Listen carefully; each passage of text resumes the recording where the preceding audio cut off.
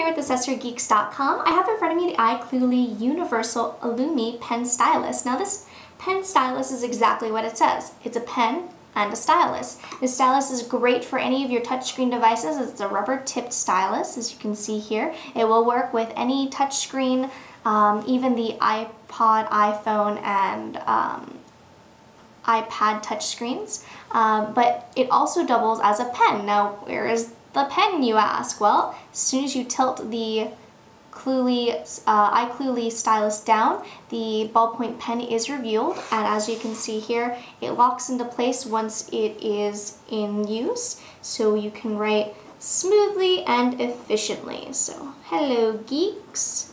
As you can see here, it is a black ink, and writes very nicely to give you all the pen, necess uh, pen tools you could possibly need.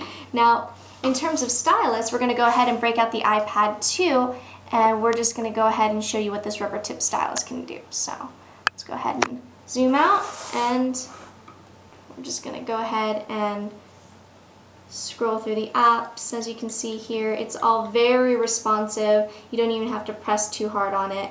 And we're gonna go ahead and open up the Doodle Buddy so you can see just how smoothly this thing right. So as you can see, I'm not the greatest drawer, but the iPad is uh, responding very nicely to the stylus.